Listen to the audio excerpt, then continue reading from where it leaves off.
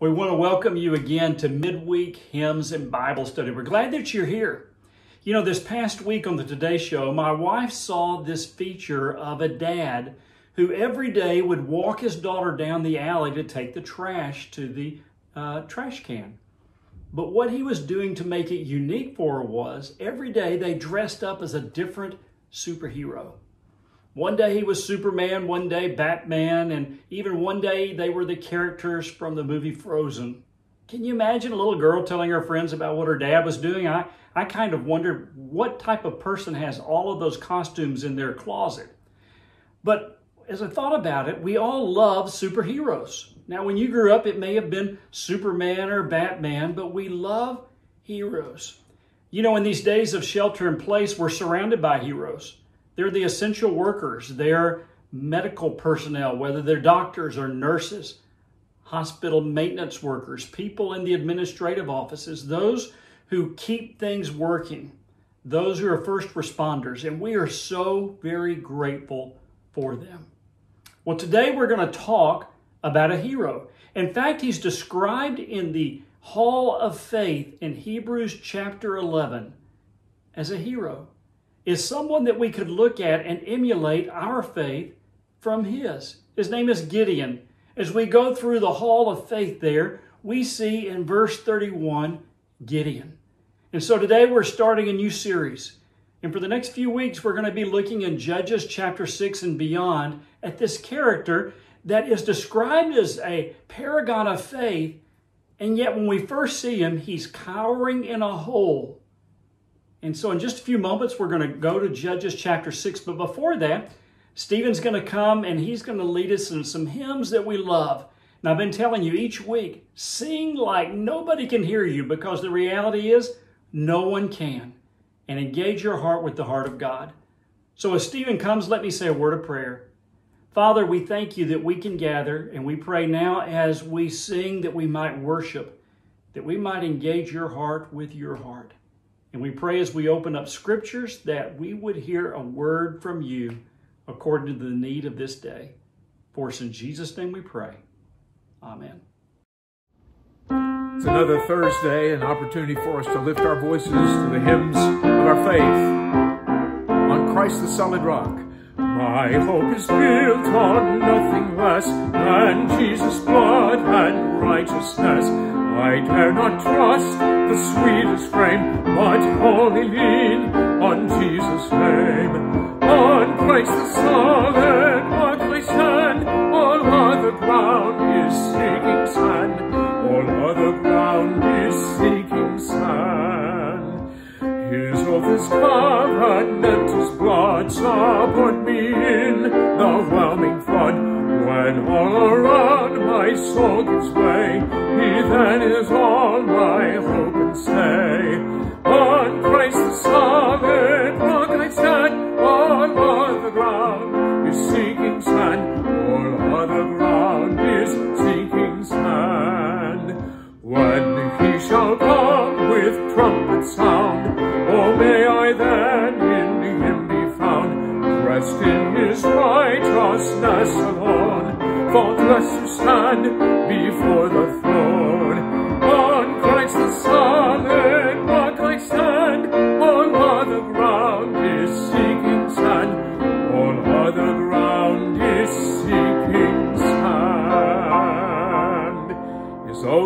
covenant, his blood supports us, and that's why we can have faith in him alone. Have faith in God. Lift your voice, a great hymn. Have faith in God when your pathway is lonely. He sees and knows all the way you have trod. Never alone are the least of his children. Have faith in God. Have faith in faith in God. He's on his throne. Have faith in God. He watches o'er his own He cannot fail,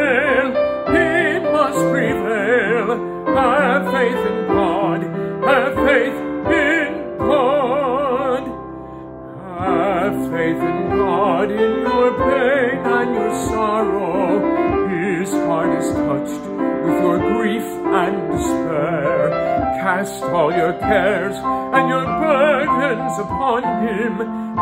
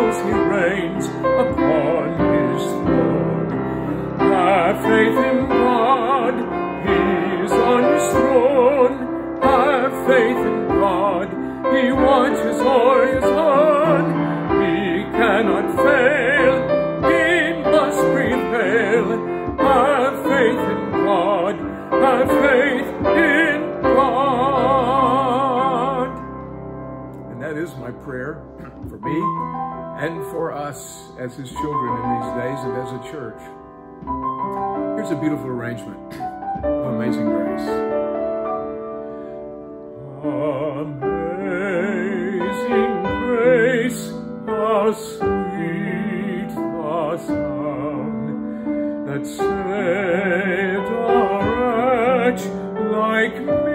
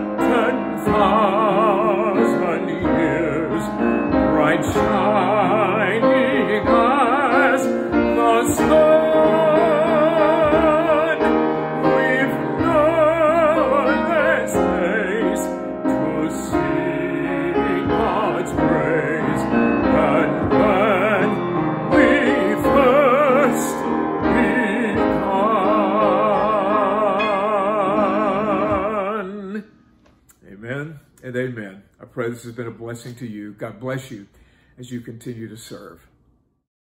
Well, if you have your Bibles, turn with me to the book of Judges. The book of Judges, we find a, a character that we're going to be studying over the next several weeks who's a very unlikely uh, person to enter into the hall of faith that we began talking about earlier, Hebrews chapter 11. His name is Gideon. Now, when we get to the book of Judges, I'll always for, never forget that years ago I went through a walk through the Bible seminar, and they taught us the, the key expressions for each book. They gave us a key word that would describe every book in the Bible, and the one that I remember the most is the book of Judges. It was the word cycles. And we find in the book of Judges cycles, cycles of blessing and prosperity that lead to cycles of sin and falling away from God, the very source of the blessing, to the punishment, and then the repentance of the people, and God sending a judge that would bring the children of Israel back out of their sin, and how God would then return the blessings upon the land. Well, as we come out of chapter 5, the last verse in chapter 5 says that the land had peace for 40 years. For 40 years, there was peace and there was blessing. And yet, in their blessing, the, the children of God, the Israelites, forgot the source of their blessing. We read in the book of Proverbs, chapter 14, there's a way that seems right to a man, but in the end, it leads to death. And so you see right here in the book of Proverbs what is being lived out in Judges that the peop- people within their blessing would follow their own way and it would lead them into sin and to death. And Judges 6 1 says that in the end, the children of Israel once again did evil in the sight of God. Well, the oppressors that are spoken of here are the Midianites, a nation to the east. Now, the Midianites had camels, and the camels made warfare so much easier for them. They would just take their camels and they would rush in, and in that time, they could take anything they wanted. So they would wait to the season of harvest. And if Israel was harvesting all of the uh, hard work, of the produce that would carry them until the next harvest, Midian would come in and they would take it. And It says they would take the cattle and the livestock and they would leave Israel with nothing. They were reduced to hiding in the caves and the clefts of the hills to stay away from the marauding Midianites. And this is where we find Gideon. Now, Gideon is from the tribe of Manasseh. He is uh, from a little town that actually the word means dusty, Ophrah. He's the last son in the family of Joash. He is, he is not the likely character that you would think that God was going to use to raise up to be a judge. And yet God comes to him and he has a call upon his life. Look with me in verse 7. When the Israelites cried to the Lord because of Midian, he sent them a prophet who said, This is what the Lord, the God of Israel, says I brought you up out of Egypt, out of the land of slavery. I snatched you from the power of Egypt and from the hand of all your oppressors. I drove from them from before you, and I gave you their land. And I said to you, I am the Lord your God.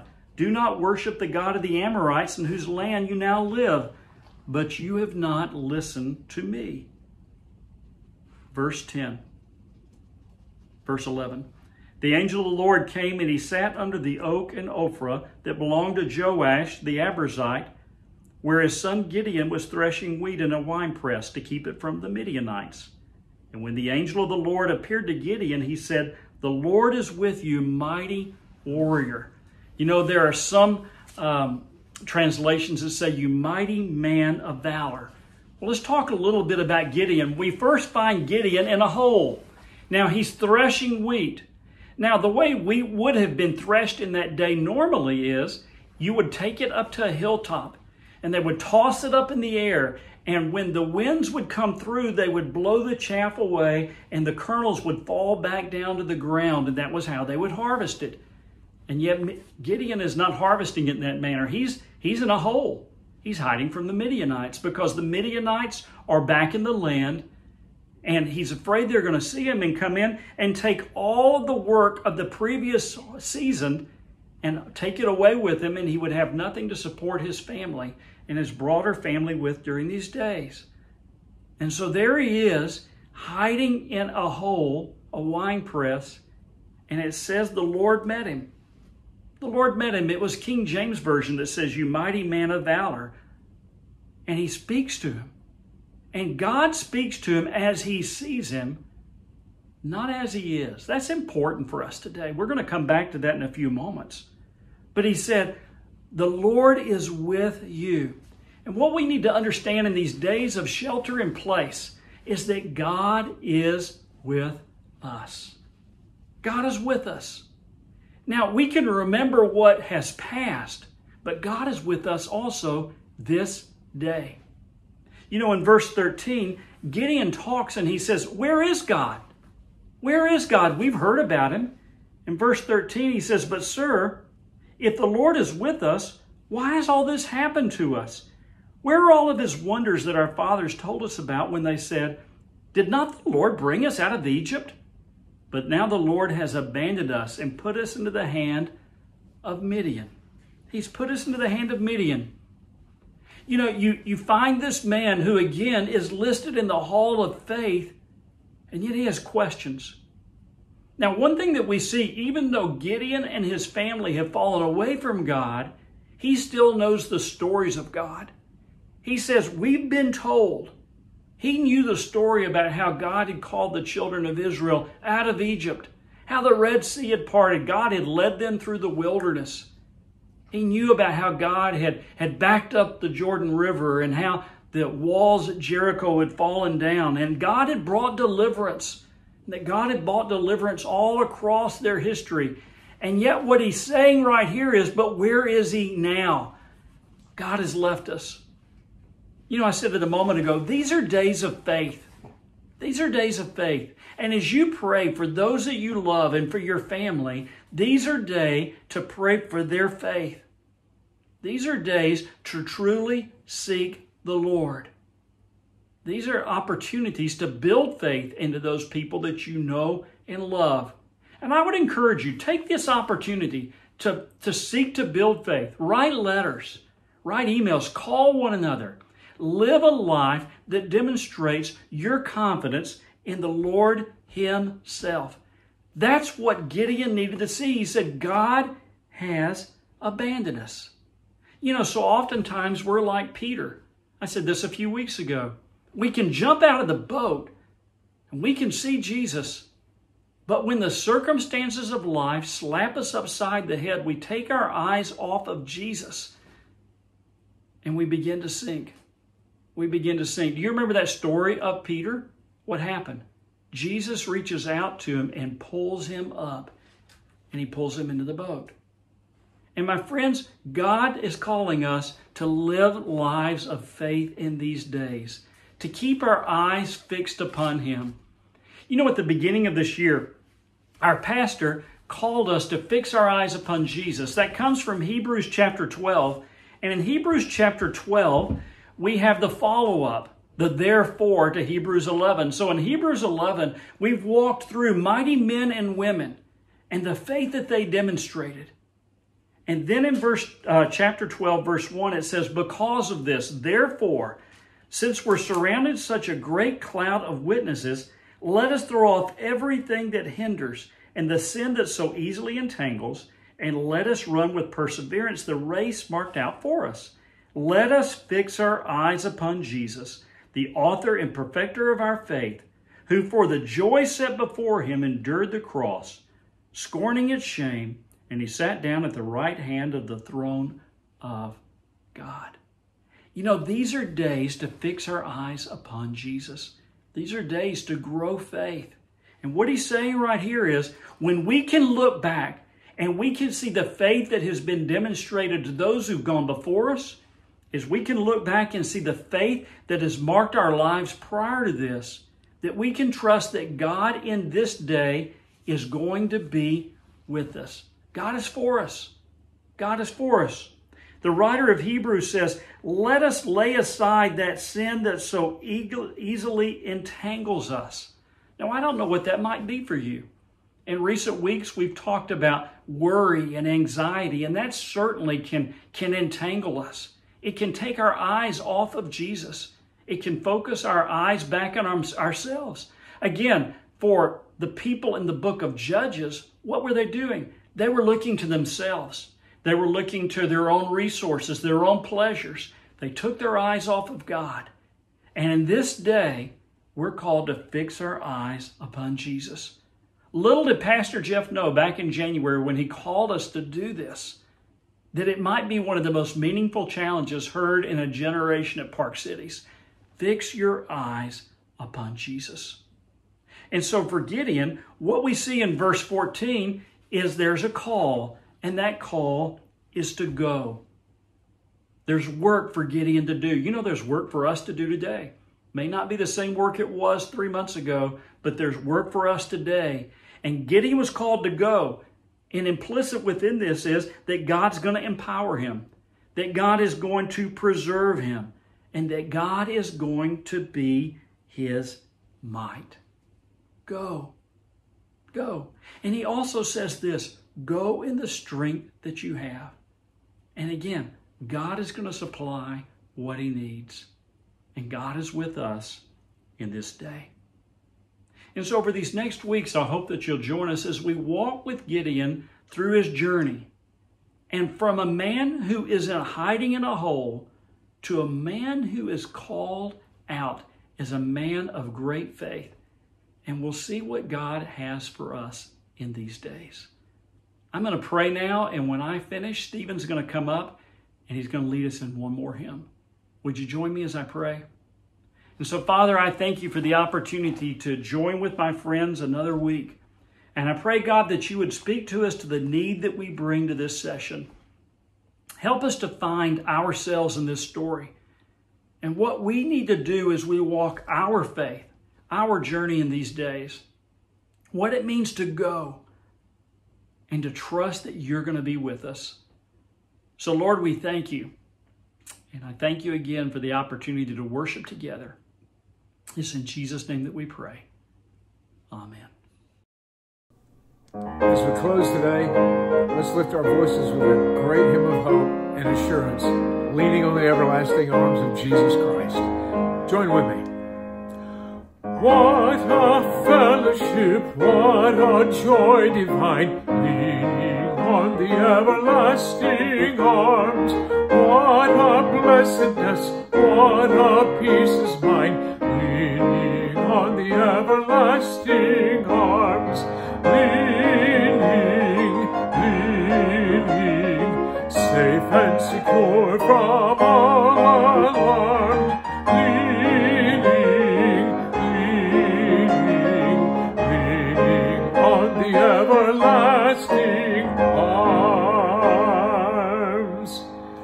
That's our prayer for you today, that you'll find that hope and security and safety in the arms of Christ. God bless you all.